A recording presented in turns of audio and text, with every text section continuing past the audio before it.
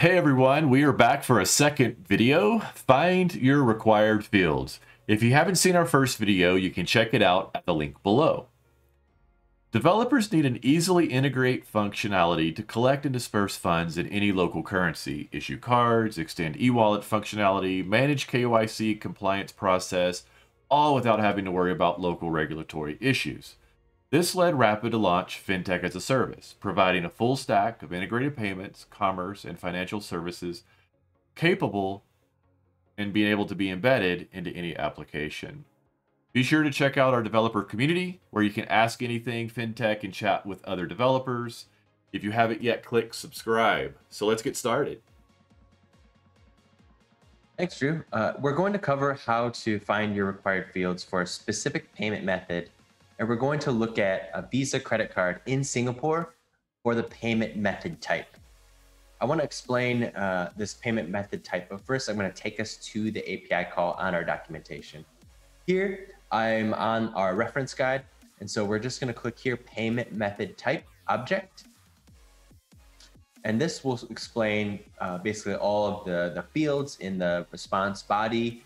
Uh, and then if we go get payment method required fields, this will explain the uh, parameters um, and uh, also give you some samples. And so I'm going to move over to um, basically our uh, payment method type uh, right here. Uh, you may have seen this before. Uh, you may have seen a bunch of letters bunched up and maybe recognize words like Visa or MasterCard.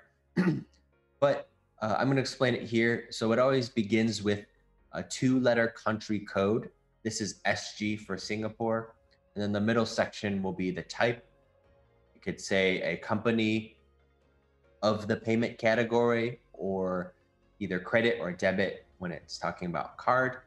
And so here we have credit Visa. And then the card is the type of payment category. So for this, we may have bank redirect uh, e e-wallet or uh, cash.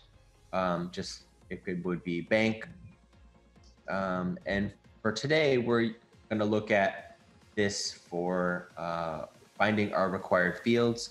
Other payment categories may not have just required fields needed for the user to input.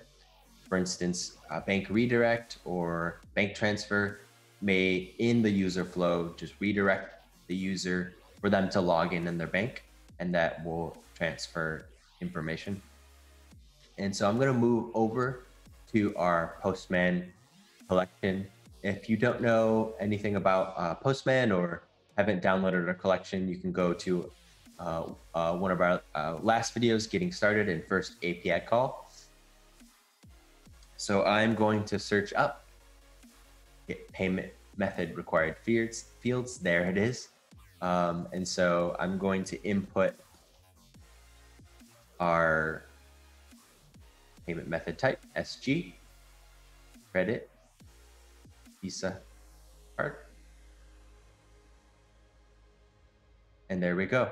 Um, I'm going to, I've copied this and input it into uh, a bigger visual in VS Code. And so we're just going to talk through uh, some of the values here, uh, again, which is on our documentation. Here we have name and in, in, uh, in basically the type and string.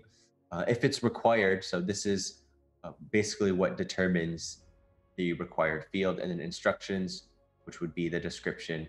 So this is cardholder name, the number of, of the card number, expiration month, expiration year, CVV card verification value, or uh, the card security code, all which are required and inputted by the user. Which will be passed on is the name uh, and then the value of what is that information. And then we have our payment method options. Um, this is not required, but this is our 3DS uh, verification feature that you can learn more about again in our documentation.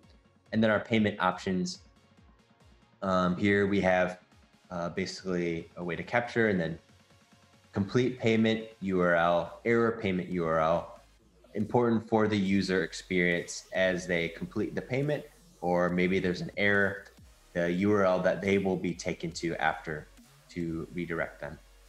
And so uh, there you have it. Uh, this is how to get your payment uh, method required fields. You will pass these on if you are creating a customer or creating a payment request, uh, which we'll show you how to do in another video.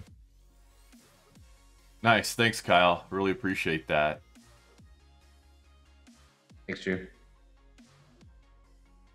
So just to kind of wrap things up here, uh, as always, we want to talk a little bit about some of the areas uh, you can go to within the Rapyd community to learn more, uh, ask questions, as well as get uh, advice from peers.